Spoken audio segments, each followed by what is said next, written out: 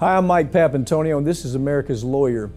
Dozens of members of Congress have been caught violating the Stock Act in this last year, but so far nothing's been done to stop it. It's a massive problem, and, and we'll tell you about it. We'll tell you the obvious reasons they need to get it under control.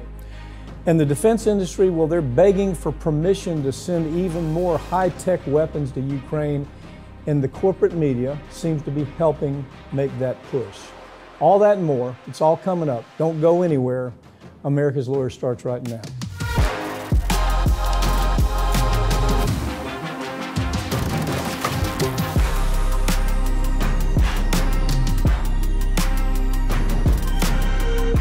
The public has been calling for a ban on congressional stock trading for months now, but so far virtually nothing's been done about this growing problem. Ring of Fire's Farron Cousins joins me to talk about this and many other issues today. Farron, as I look at this, we've been, I guess we've been doing this story for a long time now, saying why don't they do something about it? It's almost like they're trying to run out the clock, isn't it? It, it, it really is, because this has been an issue, you know, uh, really in the last year, it's picked up. People finally started paying attention because I think we had a total of what, 126 members of Congress Yeah. from the House and Senate that have violated this Yeah. using the knowledge that they've got from these bills to trade stocks. And the numbers are staggering, frankly. Yeah, it, it really the, is. The, the money that they're making. Talk about some of the issues. You, in other words, they know that something's going to go on with drilling, and then they go energy stock. They know something's going to happen with a war. They buy defense stock. Isn't that kind of happening? Yeah, it's, it's exactly right. When they're crafting these budgets, essentially, especially the defense budget, they know, okay, well, Raytheon is about to get $2 billion from the government. Mm-hmm. I'm going to go ahead, make the phone call to my broker, say, hey, let's uh, pick up some Raytheon here. They're about to get a big thing. And that is a violation, again, of the Stock Act. But, the Stock Act, it, it basically carries a $200 penalty if you violate it. But they're making hundreds of thousands of dollars, so it's just a $200 fee to do business. If you had that kind of insider information and you weren't in Congress, that can put you in prison, can't it? Oh yeah, for a very is there, long is it time. maybe? Am I missing something? Is there anything different here? No, and it, as far as we can tell, this really is insider trading. You have knowledge that is not available to the general public that is directly going to affect the stocks of these corporations, and you're using that money or that knowledge to make money for yourself. That is textbook insider trading. But when you're in Congress, they let you do it for you know the $200 fee. Well, both the Republicans and the Democrats are saying that it's Pelosi who is stonewalling this. And then it brings in this story about her husband, who is like a stock trading maniac, made millions trading stock. What's your take on that? Yeah, I, I think at the end of the day, it does come down to Pelosi. You know, she is the one in charge of the House of Representatives where this thing would really need to kick off. We've actually had some pretty decent talks in the Senate. Even Republicans came up with their own version of a bill. Mm-hmm. You can get the numbers in the Senate if you actually try. But it's Pelosi kind of stonewalling it in the House. And like you said, it's the Democrats that are saying Pelosi's not letting us move on this. She's been reluctant. She says publicly she's willing to do it, but that only came after she said she's not willing to do Yeah. it. Well, she said it's, she wasn't willing to do it a few times. It wasn't just one Yeah. statement. I'm not willing to do this. And then all of a sudden she says, I am, but nothing's happening. She's stonewalling. And Schumer's coming to her defense by saying, well, look, it's the Russian invasion, it's Roe v. Wade, it's COVID, it's, uh, you know, the, the, the baby formula, it is the president's going down the tubes, so we don't have time for this. Right, we can't do two things at once. We just don't have that kind of skill, I guess, in the House of Representatives. So the only person that I, I think seriously is taking a look at this consistently is Elizabeth Warren. Yep. Elizabeth Warren is, is a true believer in making this stop. And what it would do is just simply say, look, while you're while you're in this office, you can't trade stock. I suppose you could have blind trading trust. You could there's a lot of things you can do. Yeah. But you can't rely on the information that you have. Right. This isn't going as far as to say you're not allowed to own it, which Yeah. is what what I would like to see. I know Yeah. that's extreme, but all this is saying is listen, you don't get to make the calls. Yeah. It goes into a blind trust. They send you your statement every month. You can see what you made, and beyond that, you can't do anything else no, with that information. no communication with the person running that, Right. that, that trust. Procter & Gamble is being accused of discrimination after it was found that they're paying a black-owned contractor company far, far less, like one, just almost half the It's amount. it's ironically three fifths. So they've come up with this little three fifths compromise, I guess you would call it, for this black-owned contractor doing the same thing for Procter and Gamble that all of these other white-owned businesses are doing. And it's not like they were late to the game. This company, uh, own- again owned by this black individual, has been doing business with uh, Procter and Gamble since 1987. is the, what is the company? Uh, they do contract package uh, packaging. Excuse Okay. me. For Procter and Gamble, it's, It's- QAI is the name of the company. So, so how do you come up with this formula? It's, a, it's, owned, it's, it's owned by African Americans. Let's now pay, pay the, how much less is it? It's they're getting sixty percent of what the others get, so three fifths. Yeah, okay. So, but you know, I saw this story. You know what it reminded me of, Farron? It reminded me of what we're seeing this virtue signaling from all of these companies. I mean, you see, look, you expect virtue signaling from celebrities in Hollywood. My God, don't you get tired of it? It just is endless, this virtue signaling. But, that, but corporate America has picked up on the idea hey, that's a pretty good idea. Let's do some virtue signaling. Give me some Well, examples. well, right. Well, well, before that too, though, Procter and Gamble, to your point here, they've got all kinds of pages online about how they're an all-inclusive company, no discrimination, zero tolerance. We accept everybody, we treat everybody fairly, and that is, as you say, that's their virtue signaling. Mm-hmm. Because when you get into the documents, when you start seeing what's you know on paper, it has nothing to do with reality. And this month, we see it happening with corporations all across the country because it's Pride Month. So everybody changes their logos to hmm. the rainbow flag, Right. acting like we're so inclusive, we care so deeply. No, they don't. None of these hmm. corporations give a damn about anything except for dollars. I think of Exxon. You know, you did the Exxon story. I don't know anybody. I, honestly, I don't know anybody who's really knows more about Exxon than Farron Cousins.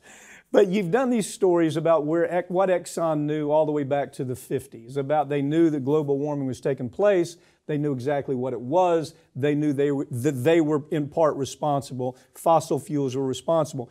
But Exxon, tell me what they do with that. Yeah, they, they, they take all that money they make destroying the planet, they go to the corporate media, they buy these ads touting Exxon's research into renewable energy. And it's got all kinds of fun graphics and animations showing we're, we're making fuels from biofuels. We're, we're looking into solar. We're looking, they're not doing any of hmm. that. They're, they're hoodwinking the public into thinking they're one thing. But again, just like Procter and Gamble behind closed doors, they couldn't care less. Amazon, same story. Disney, same story. I mean, it's the PR firms have this down pretty well, and you know what? It works. I mean, it does work. Yeah. What it does is it creates doubt because you don't have enough. Most people don't have enough information. It's not their fault. They simply don't have the backstory and they don't have the information to really figure out what's going on. But this virtue signaling is like an all-time high. AOC delivered a scathing rant about American democracy recently, and she makes some incredibly important points. As a matter of fact, these are points I, I just love. I love this woman's delivery about what she had to say about what's really going on with democracy. You know, I watched this video, maybe we can show part of it here, but I watched this video and you can tell she's really speaking from her heart. You can tell she's disgusted, she's tired of it. She just she just wants to be heard about what her really her real view was. Talk about it a little bit. Yeah, and this is all coming from somebody that hasn't even been in there for four full years yet. Yeah, And she's already, eh, like you said, tired of it almost because you deal with it day in and day out. So she talks about these issues, you know, the fact that we don't really have any kind of representative body in this country. Certainly not the presidency, that's the electoral college. Popular vote doesn't matter. And sure, it mm-hmm. was designed that way, but it's a bad design. Mm-hmm. The Senate, you, you've got as many senators, you know, I, I think there's like 46 of them from the same population that the state of California has with two senators. Yeah. House of Representatives, she points out, this thing is gerrymandered beyond any recognition. There's plenty of names, by the way, in Congress of people we know, we talk about all the time, that wouldn't even be in Congress if it weren't for gerrymandering. Dan Crenshaw is one of them. Yeah. His district, it's shaped like a giant hook that scoops around all these Republican areas. He wouldn't But exist without This is it. her quote. It's becoming increasingly diff- difficult for people to defend the stance that we live in a real democracy. It's just not true. I mean, that, that is a powerful statement coming from a courageous woman who says, Listen, I'm tired of it. And, I, you know, to me, what I loved is I loved her delivery of this. She called it moral emptiness, that we're surrounded by congressional decay, and that that is bringing about moral, uh, her, her, her term was moral emptiness. Uh, she says that it's, that it's, it's, democracy is imploding because of all these things that she talked about in that, uh, in that video. But I think the thing I was most moved by the video is that is that it's her sincerity. It, you can tell it's like it's one of those days. End of the day, you're going, my God, I've been fighting the fight all day. I have to really say what's in my heart. And she delivered it, and I, I got to tell you, it was it's remarkable. Everybody ought to see it. Maybe we can play part of it well, here. Well, you know, and just to add to that too, this wasn't a partisan attack either. Yeah, not she, at all. She's going after the actual institutions because we see plenty of it from both sides, uh, bitching about the other side, you know, complaining about drain the swamp. This wasn't that. This was the whole system, folks, is broken. Yeah. And we have to do something before it is too late. This was a huge warning from somebody on the inside, and not enough people are listening to it. Yeah. Well, let's hope that uh, she's reelected. Let's hope that she keeps that she keeps speaking truth to power. That's what she was doing there. Yeah. And it also cuts to the basic structure of our democracy, uh, if you can call it that because when you have a presidency that's not determined by a popular vote, when you have a Senate where million, tens of millions of people more can vote for one candidate, one party, rather, one party, and still be in the minority, where even in the House of Representatives, that's supposed to represent our population um, that gets gerrymandered to all hell once in every once every 10 years in order to ensure an outsized minority rule and voice in both the House, the Senate, and the presidency, it is becoming increasingly difficult for people to defend the stance that we live in a democracy, in a true one.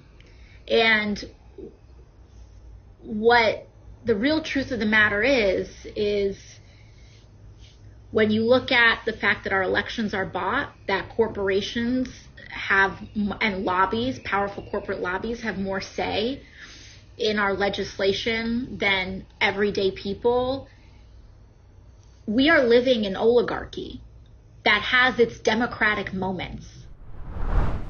Local leaders across the, the country are wondering when the next catastrophe is going to happen is Congress slow rolls the gun control measures that they're talking about. Wow, this is a big topic. My, my take on this topic, you know what, let's take a minute and, and talk about maybe some of the issues, Farron, that everybody's not talking about. Um, why, don't you, why don't you lead it off? What, what is your thought about, what, what, what are some of the issues that you think you know, you hear, got to do away with AR, AR, got to do away with uh, whatever the, the, the attack rifle is, whatever the brand is, got to do away with it. But there's so many other issues that they're not talking about here that now's the time to talk about. What's your thought? Right. I, I think right now what we're seeing is the same solutions that they talk about after every yeah. mass shooting. And sure, it does feel like we might be a little closer to doing something about it this time, but if we're going to do something, it needs to be things that are not prohibitive, mm. I guess would be the word I would mm-hmm, use. Mm-hmm. And if you ban certain types of weapons, you're always going to have a fairly large section of the population that absolutely shuts down upon hearing that. Mm. So, how do you avoid that? Well, I think the big thing that we have to move towards is liability insurance for every weapon you own. Any gun you have, you have to carry an insurance policy with that gun. Basically, make it cost prohibitive. You're not taking away anybody's rights. You're not, you know, taking things off the market or pulling them out of their homes. You're just saying. Don't we always do? We the insurance industry always does that. I mean, yeah. it's, it's not new. right. It's like if you want to own a pit bull in your home, you're going to have to pay some extra insurance if you can get insurance at all. And or or how, how about this? How about um, so somebody hoards 10, 12, 15 guns? They have to have insurance on each one of those guns, right? Yeah, that's And what I would like see. So that's one of the things that's being talked about. Unfortunately, it's not being talked about enough. Another thing that's being talked about, I, I just want to know your reaction to this. I, I thought it's an interest, it's worth discussion. I don't know that there's any wrong or right about this because it's going to take a lot of discussion. But the, the discussion now is that the that the uh, desensitizing of violence with video games, with movies, uh, with with make believe TV, that that all of this thing becomes a make believe process. When you have a video game, for example, and the discussion is that you know kids sit for hours playing that video game where they you know kill 50 people in the video game. Uh, you and I probably disagree on this. What do the numbers show on this? Well, I, I just want to start by saying, you know, if it were the video games, just the way I see it, we have these same video games in other countries, but Yeah. not the violence. So Right. that to me is kind of the big red flag, I would say. Like, well, eh, you know, it's not translating into other parts of the world. Right. But you do have, it, as every age group is broken down, the higher the age group, you know, 65 and older, 82% of them think that the video games are leading to increases Well, the general violence. the, the general desensitization. Okay, Yeah, and- right. And, and it's a it, it is a generational divide. It Yeah, truly is. You yeah. see that in the statistics. Yeah. But what I do think, and this is interesting, because I don't, I personally, I don't think it's the video games, but what I do think, we see an abnormally large number of children in this country, not mass shooters, but kids. They get their hands on their parents' guns oh, yeah. you know, a, a four-year-old, a five-year-old, and they don't understand. They they know it from TV and they know it from video games, and they ah, ah pow pow pow, and then every day, every day in this country, one of them shoots It- somebody dead. that- and that raises the next issue. That's I love that these topics are surfacing. Okay, The- I'm, I'm just trying to go down the list of topics that are surfacing besides the old talking points, the same old talking points. The parenting. How about how about parental liability? It's like the last. I mean, the, the latest shooting in Texas. The the mother's asked, well. "What- What's your opinion? And she says, Well, he must have had a good reason to do that. I mean, that was her quote. Must have. And then she goes on and describes what. Well, tell us about your kid. Well, he's a little oddball. I mean, that's what the kid is. He's not. He sits in his. He sits in his room eight hours a day, no contact with the outside world. Doesn't come out of his room. Locks his door and stays there for eight hours a day. Doesn't have any friends. No friends. It's just you look at the kid, you go, something ain't right here. And isn't there a parent responsibility there to get involved? You can't just say, well, he must have had his good reason to go kill all these children. That's basically where she lands. So I think the idea of being able to proceed in a lawsuit against parents, that, you know, it's, it's like if I have a, if, I mean, I'll take it down to the real basics. If I've got a pit bulldog, I'm responsible for that pit bulldog. I've raised it from a puppy. I'm responsible for that. What's different here? You got a kid that's a ticking time bomb sitting in a damn bedroom all day long playing video games, you know, shoot 'em up video games, watch watching tell. Don't you have a responsibility as a parent? And shouldn't we put some responsibility over there on the parent? What, what is your take on that? I, I 100% think that we need to be able to hold these parents liable, uh, especially in instances too where they're the ones who buy the guns for the kids. Yeah. You know, if the kid's not 18 yet, absolutely, this should be your liability here. But the parents do need to be trained to recognize some of these symptoms. Antisocial behavior, as the DSM 5 points out, Right. is a, a pretty good predictor of future violence. Couldn't you go down the checklist of a DSM 5 with this kid and say something's not right here, okay? Yeah. You know, he's being bullied apparently. I don't know the full story, but he's so withdrawn, he has no friends. Then on top of that, he goes out with his birthday money and buys an AR 15. Ridiculous that he should be able to buy an AR 15 at 16 years old. And moreover, uh, the idea of changing that, changing the, the, the age that you can do that, that's something that's easy enough to fix, right? But that, that brings in some other points. If you're going to buy an AR, what about some kind of regulations where you ask, what are you going to use this for? I'm going to use it for hunting. Great, you can use it for hunting, which is crazy. How you use an AR for 15, uh, 15 for hunting is crazy. I don't think it's even legitimate. But then you say, okay, if you're going to use it for hunting, you got to take a week long hunting course, come back with a certification saying you finished the course. That's an impediment, right? Or if you say, I'm going to use it for self defense, great, you have the right to do that, but you have to take this self defense course that might last two weeks and you have to come back with certification before we can see. There are all of right. these impediments that we can put in front of it that you're not taking away anybody's rights, you're just you're stepping up the threshold to where we're not going to take your gun away, but it, we're going to make you be more responsible right. We're, we're not putting up roadblocks, we're putting up speed bumps. Yeah. That, that's the point of this. You know, we obviously you can't do anything that is going to be misconstrued as violating Second Amendment rights. Right. You lose again half the country, even mm. though they support these measures, they'll still be lost on this issue. You get nothing done. So the, the insurance issue, the liability on the parents, the criminal negligence on behalf of the parents. Mm-hmm. If you have a child that is locking themselves away every day that you don't even speak to to talk about what's on your what's going on, bud? Hey, you've been a little is everything okay? Uh, Do you want to talk to me? I mean, those are things I've had conversations with my kids. Grandma like in this case in the in Texas shooting, grandma said, "You know what? I think it's a bad idea. You're 16 years old and you got an AR-15. Mom doesn't say a damn word about it. Dad doesn't say a word about it. So he shoots grandma in the head and then goes around killing children after that. You know, it's it's there's got to be some responsibility that the parents take."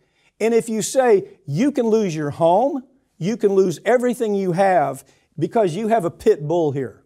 You have a pit bull dog. He's a child, but he's same he's equivalent as a pit. That's what we do. Insurance, the law, we make that person responsible. So there has to be a shift in responsibility, I think. There really does. And you know, there has to be accountability with that too. Yeah. You know, you, you can't get homeowners insurance if you have a trampoline. How about life insurance? Right, life insurance as well. You have a weapon that is known to increase the risk of death in your home.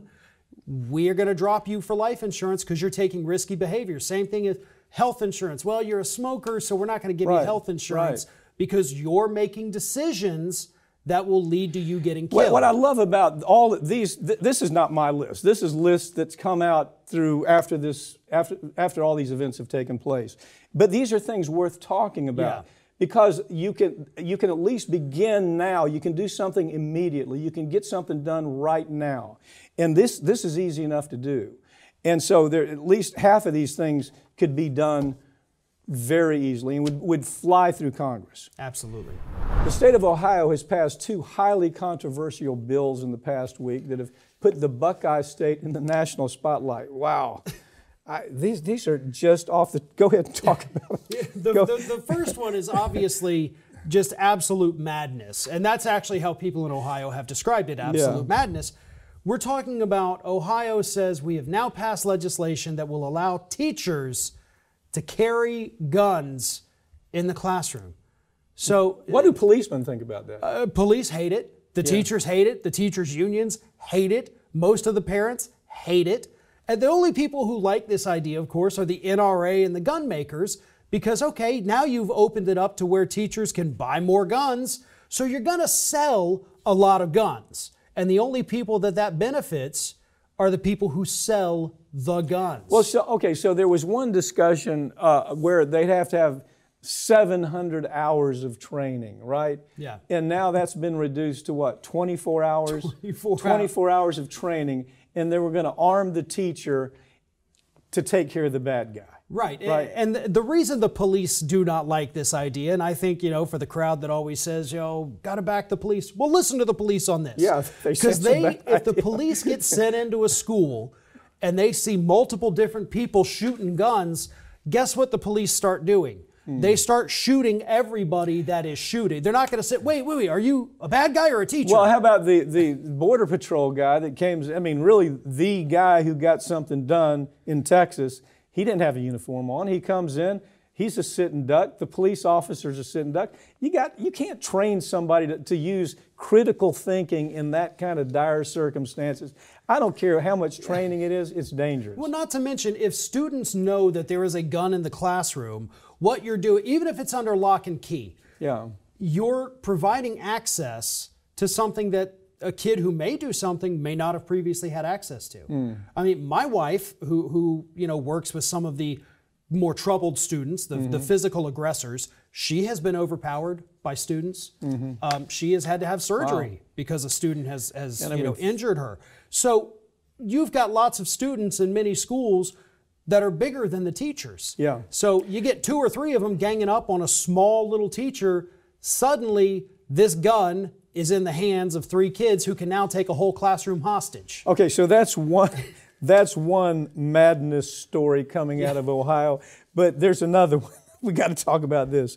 The Ohio lawmakers uh, they they advanced this idea that trans sports ban there needs to be a genital check to make sure that this girl who's saying that she is trans woman or trans female is actually a trans female. How do, so so this is this is a law they're trying to pass. What is Yeah, it? they've. Uh, uh, Has it's- it, pa- has it passed? It's gone through the House. Okay. Um, you know, we'll see where it goes from here. But So, so how do they do this? How do they how do they go about this? th- this is so weird because okay, right now the way the law is, you know, you, you got to be a girl to play girl sports, you got to be a boy to play boy sports. So you go and get your physical from a real normal doctor, and the doctor sends the results saying yes, uh, uh, Susie is a girl, Johnny's a boy. Well, if the school looks at this and they say, you know what though, I'm not so sure.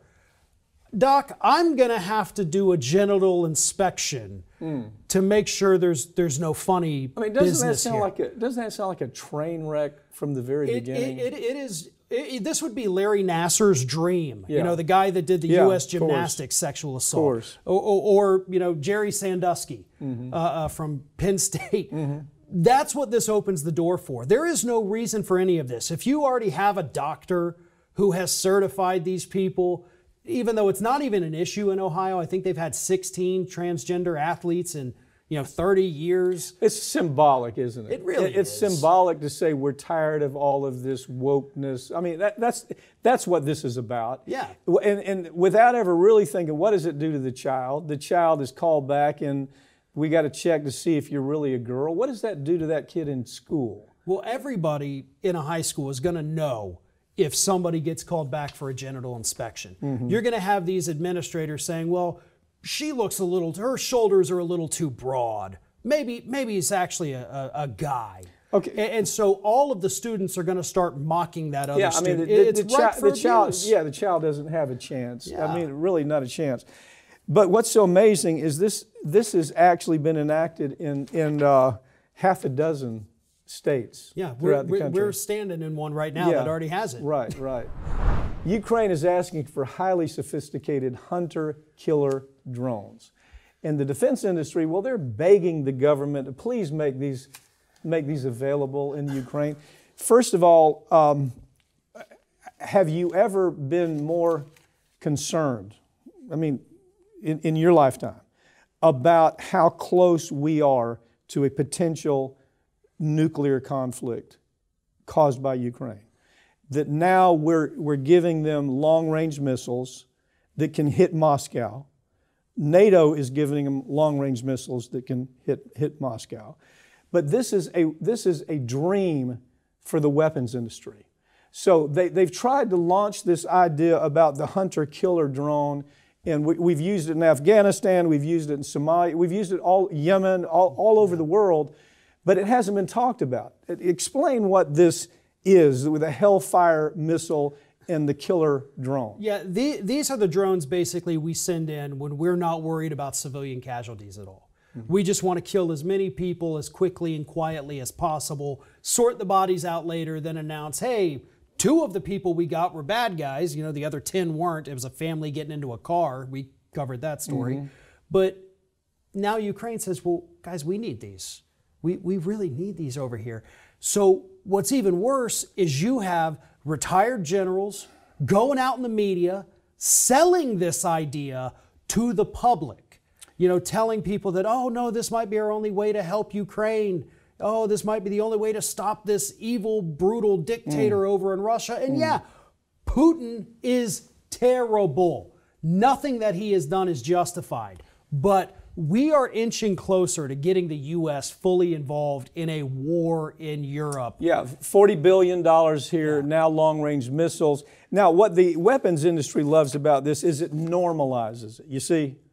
Now, now people know, yeah, we got the hunter killer missile being used. Weapons, this is a gold mine, a gold mine for the weapons industry, and that's what this is about. That's what that $40 billion was about. That's what Ukraine in general is about is the weapons industry. This is a big payday for the weapons industry. Now, I have tried to find, just quick look, where corporate media has even talked about this. This is, this is uh, tail wagging the dog. It's the weapons industry that is escalating a war into where this first time since the Cuban Missile Crisis, where Americans probably should have been very concerned about nuclear war. I, I, if, if you have children and you're not paying attention to this, this is just another brick in the wall, isn't it? Right. And every time we send a new shipment of weapons over there to Ukraine, Russia amps up their rhetoric. They right. ramp up their attacks. Their media last week was already saying we should basically already consider this World War III. Yeah. Not approaching World War III. We're pretty much in it right now. And we, you know, they're not ruling out the use of nuclear weapons. Now, maybe that's a just a talking point. No, it's not. Uh, but, not, well, not this, is, Putin is not a well person to begin with. Exactly. Okay? You have the oligarchs who are very concerned about his mental health and his physical health. Okay. When he makes a threat like that, understand he comes from he comes from a generation that was well aware that in the Second World War, Russia lost 26 million people, mostly from Germany. Germany was the people. That's why you see, still see that hostility between Germany and, uh, and, and, and, and, and Russia. And unfortunately, Germany has a big input as to these long range missiles. They're talking about Germany here. When they talk about, you, you know, you're going to give these people long range missiles that can hit Moscow, and oh, yeah, you're going to give them killer hunter, kim, hunter killer drones to go after our people. There's no way that this guy's just going to back. He's not going to back down. He would have done it already if he was going to back down. Yeah, I think. Yeah. And, and, that's what people have to understand. He, how, how he, do how, how, do people talk about this and not understand what the risks are? Well, Farron, I mean this this is escalating by the week. it, it is, and the problem I see too, though, is then what do we do?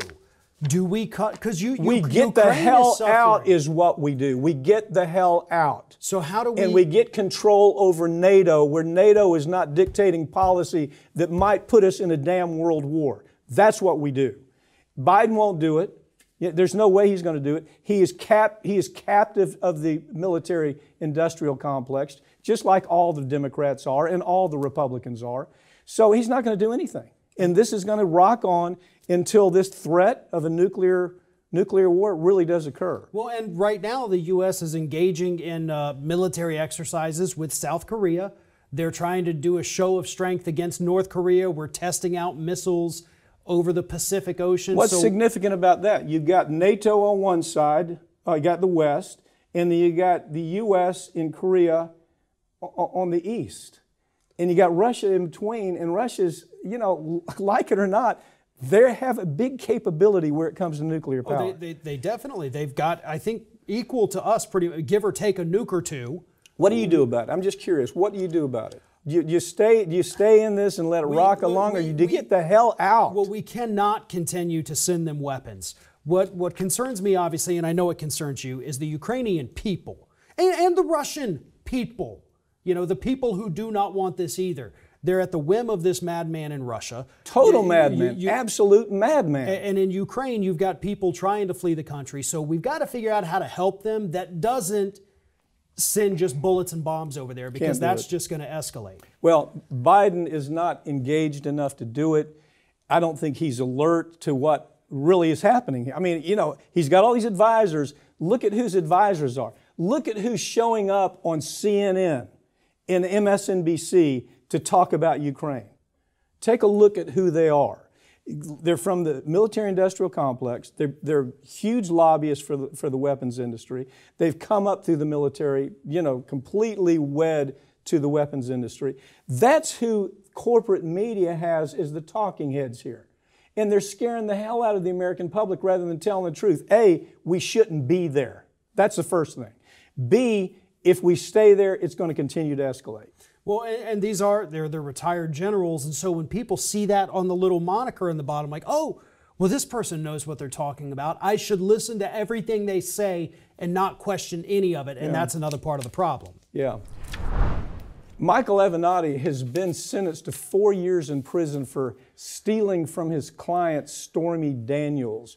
What everybody doesn't understand is this guy has stolen from everybody. He, the most compelling story is he stole from one of his paraplegic clients, where he just basically stole all the money that was supposed to go to the client. Yeah. And so, so this, this is an awful person who, oh, by the way, oh, yeah, the Democrats thought he might be the new great white hope for the Democratic Party. You remember that? Yeah, right. Uh, when this guy emerged in 2017, 2018 with Stormy Daniels, he was on every single cable news show, every Sunday morning talk show. Yeah. A whole profiles written about how this guy and his fighting style, this is what the Democrats have been yeah. sorely needing. Is he possibly going to be our 2020 nominee, they were saying at the time back in 18? Because he, he, he attacked Trump. He was good at the. Trump. I mean, who couldn't attack Trump? Right. I mean, anybody, anybody had enough information to go. out. But from the very beginning, you, you identified the guy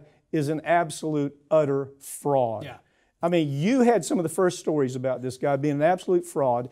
And on the other, because you had the stories where he had this long history of him stealing money from clients, committing fraud, complete, co- uh, committing wire, you know, wire transfer wire fraud, tax fraud, bank fraud. I mean, his firm was going under, by the way, before Stormy Daniels showed up and basically saved everything for him. Did I get it right though? My memory is that the Democrats thought, "Oh, this is the guy." They, they, really did. There were think pieces in every major media outlet that could this be the future of the Democratic Party? I mean, people go why, go. Why, why does that happen? It's hero worship. It is 100%. We're so pathetic. We need a leader.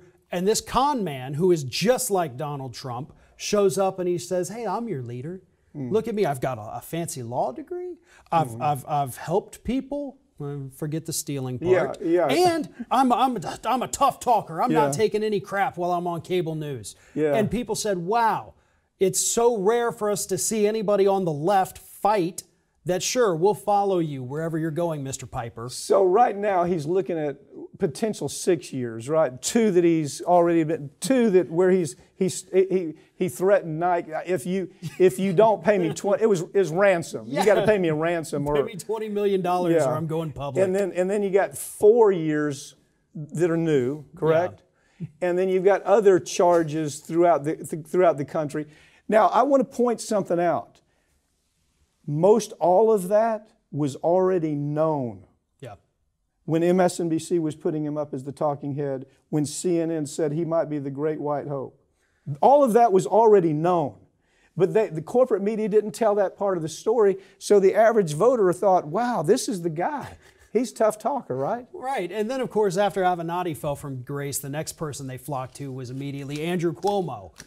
so they, they don't have a good track record on picking their next Democratic hero if those are the two guys that at one point were supposed yeah. to save the well, party. Well, Republicans aren't any better. Right. It's uh, Democrats the same as I mean, it's human nature. We need a hero, and we are just so tied into hero worship in this country. We really are. It's just so sad that you know we've fallen so far that yeah, he looks like a tough talker.